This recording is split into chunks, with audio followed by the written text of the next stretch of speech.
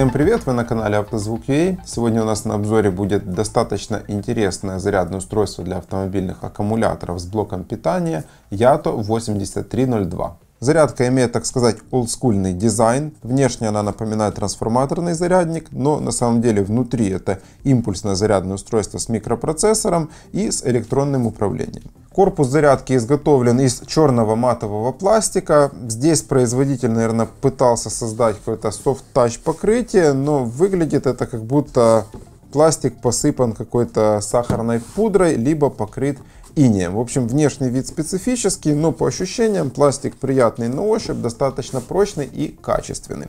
Корпус у зарядки не маленький, и это обусловлено тем, что с тыльной стороны у него есть карман, в котором прячутся все провода. В этом кармане спокойно уживаются зарядные провода и сетевой кабель. Также внутри кармана мы можем видеть вентиляционное отверстие с кулером для обеспечения оптимального теплообмена и аналогичное вентиляционное отверстие, но уже без кулера, имеются по всему периметру зарядного устройства. Это с одной стороны хорошо, так как зарядка не будет перегреваться, но с другой стороны класс пыли влагозащиты здесь IP0. То есть в принципе зарядное устройство полностью подвержено воздействию пыли и влаги качестве компенсации за низкий или можно сказать отсутствующий класс пыли влагозащиты на тыльной стороне зарядки имеется гнездо прикуривателя под 12 вольт. Соответственно, подключив зарядное устройство к сети 220 вольт, мы получаем своего рода преобразователь или блок питания, от которого можно запитать автомобильный холодильник либо компрессор. Чтобы задействовать зарядку в качестве блока питания, необходимо выполнить ряд следующих манипуляций. Подключить зарядное устройство к сети 220 вольт, затем соответствующей кнопкой мы его включаем. Здесь у нас уже выбран режим AMP, это режим блока питания, и дальше просто нажимаем кнопку 12 вольт DC Output.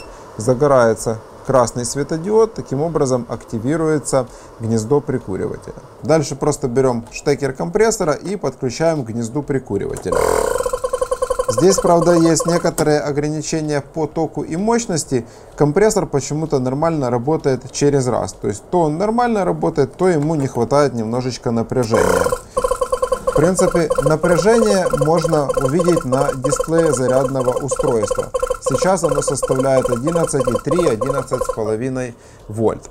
В принципе, не так уж и много. Согласно инструкции, к этому разъему, гнезду прикуривателя, можно подключать потребители с током до 12 ампер и мощностью до 140 ватт. В общем, автомобильный компрессор поршневой конструкции с производительностью 30-37 литров в минуту является максимумом для данного зарядного устройства. Чего не скажешь о аккумуляторных батареях. Зарядное устройство Yato 8302 имеет максимальный ток заряда 12 ампер. Соответственно, с его помощью можно заряжать обычные свинцово-кислотные, а также гелевые и АГМ аккумуляторы емкостью от 6 до 200 ампер часов. Для зарядки аккумулятора необходимо будет только выбрать ток заряда. Обычно его подбирают из расчета, что ток заряда должен составлять примерно 10% от емкости аккумуляторной батареи. Соответственно, если у нас емкость батареи там, меньше 60 ампер часов, мы выбираем ток заряда 2 ампер. Если емкость в районе 60 ампер, там 60-70, мы выбираем 6 ампер. И если емкость аккумуляторной батареи около 100 ампер часов, мы выбираем 12 ампер. В принципе, для быстрой зарядки можно аккумуляторную батарею емкостью 60 ампер часов также заряжать током 12 ампер.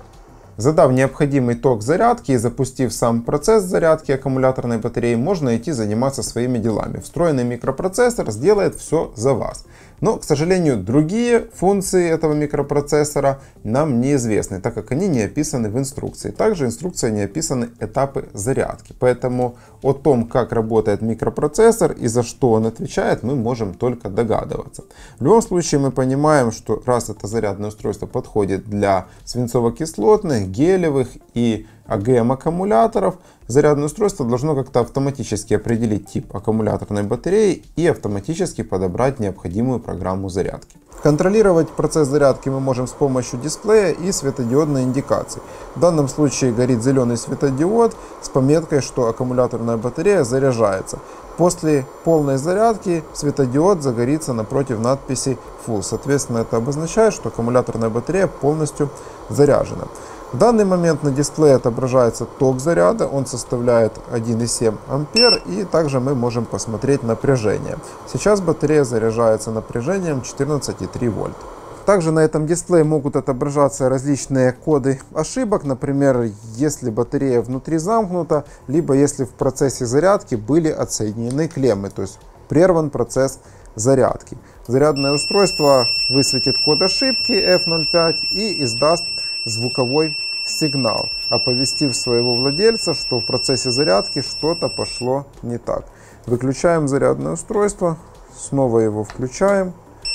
И я еще хочу проверить защиту от неправильного подключения. То есть, если при подключении батареи вы перепутали плюс и минус местами. В принципе, в разных зарядных устройствах эта защита работает по-разному. Может шваркнуть, может нет. Последний раз шваркнула. То есть, в этот раз проверяем все, как говорится, на себе. В принципе, ничего страшного не произошло, но процесс зарядки тоже еще не запущен. Выбираем снова ток заряда. Проходит несколько секунд, включается процесс зарядки, высвечивается ошибка F02. То есть неправильно подключенные клеммы. Ничего не шваркнуло, ничего не случилось. Но выключаем зарядное устройство, снова правильно подключаем клеммы, снова включаем зарядку, выбираем ток заряда, пусть будет 6 ампер, ждем несколько секунд. Все, прошел процесс зарядки. Теперь рассмотрим провода. Они, в принципе, здесь стандартные, бытовые, не морозостойкие, поэтому при отрицательных температурах окружающей среды с кабелем нужно быть аккуратным, стараться его меньше гнуть, иначе изоляция может потрескаться. То же самое касается и проводки, идущие к зажимным клеммам. Они, в принципе, здесь выглядят достаточно качественно, имеется некая дополнительная изоляция на рукоятках. Кабель подсоединен здесь следующим образом. То есть он в месте, где есть изоляция, плотно обжат, чтобы исключить его подвижность. Далее еще идет дополнительная фиксация. Кабель зачищен, обжат гильзой и уже гильза запрессована в саму клемму. То есть это достаточно качественное соединение в принципе, все сделано хорошо, не хватает, возможно, только пайки, но такой способ соединения, он тоже хорош, так как кабель здесь многожильный, а после того, как его обжали гильзой, в принципе, соединение ослабевать уже не будет, и всегда будет хороший контакт. Итак, в целом зарядное устройство Yato 8302 достаточно интересное. Оно имеет высокий ток заряда до 12 ампер, благодаря чему можно заряжать очень большие аккумуляторные батареи, но также есть возможность регулировки тока до 2 или 6 ампер для подзарядки аккумуляторов меньшей емкости.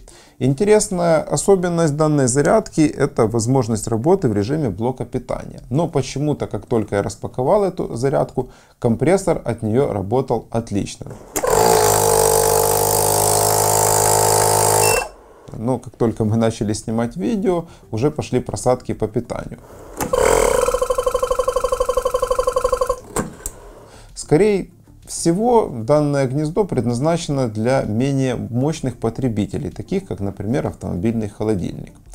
Также меня приятно порадовало наличие микропроцессора, но в данном случае производитель полностью поленился описать его возможности, и поэтому мы досконально не знаем, как данное зарядное устройство ведет себя в процессе зарядки. Проводит ли оно диагностику, восстанавливает ли емкость, есть ли режим десульфатации и есть ли режим, например, поддержания батареи в заряженном состоянии. На все эти вопросы ответов, к сожалению, нет. И это немножко огорчает. Но в целом, то есть если вам нужна простая зарядка с высоким током заряда, ну и возможностью когда-никогда подключить к ней, например, автомобильный холодильник, то в принципе данное устройство можно рассмотреть к покупке.